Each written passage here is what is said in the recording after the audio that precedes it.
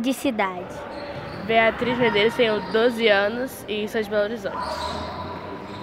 Érica, Belo Horizonte, tenho 12 anos também. Com que idade começou com que idade começou a jogar basquete? 8 anos. 10. Quem te motivou a começar a jogar e continuar jogando? Minha irmã. Minha família. Qual o seu ídolo do esporte?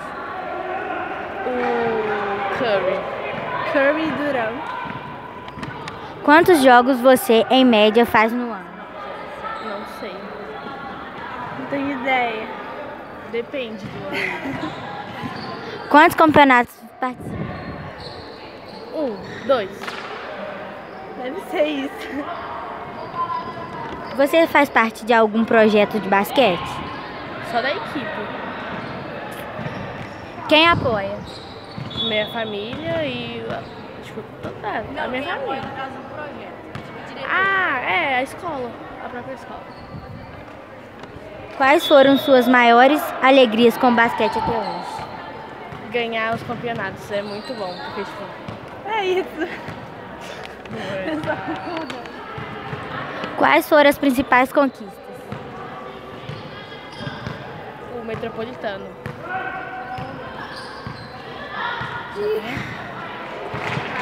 Você sonha em ser jogadora de basquete? Mais ou menos, sim. E você? O que o basquete representa para a sua vida? Alegria e diversão. E é motivação. Por quê? Porque, tipo assim, o basquete me distrai das coisas. Quando eu tô pensando muito numa coisa, quando eu jogo, eu esqueço essas coisas. Basquete é o esporte mais legal. Obrigada. Cidade, cidade. Meu nome é Alexandre, tenho 16 anos, sou de Araguari. Com que idade começou a jogar basquete? 9 anos. Quem te motivou a começar a jogar e continuar jogando? Meu treinador, Qual é seu ídolo? LeBron James. Quantos jogos você em média faz no ano? Quantos campeonatos participa? 22. Você faz parte de algum projeto de basquete? Quem apoia? Não.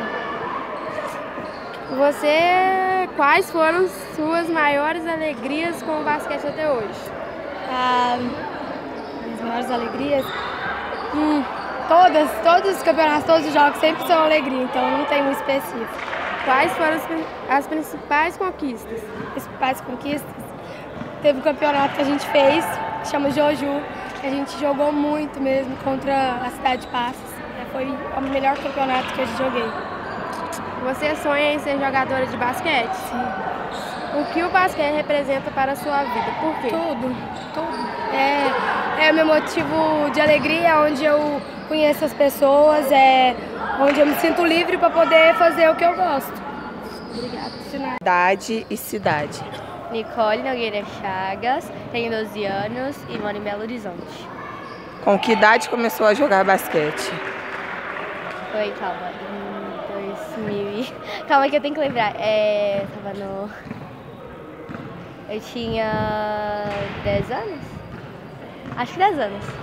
Quem te motivou a começar a jogar e continuar jogando? Olha, eu entrei no basquete pra poder ficar com a minha amiga que jogava basquete. Porque eu não via ela há muito tempo, mas depois eu comecei a gostar. E aí eu acabei ficando no time. E qual o seu ídolo no esporte? Stephen Curry. Quantos jogos você em média faz no ano? Ah, ah, não sei, acho que em ano. Acho que 20, sei lá. Quantos campeonatos participam? Por ano? É. Dois? Você faz parte de algum projeto de basquete? E quem apoia? É, eu sou parte da equipe do meu colégio. É, pela tec- que eu sou treinada pela técnica Alexandra. E quem apoia, então, a direção da escola? É, tá, é o diretor Clóvis.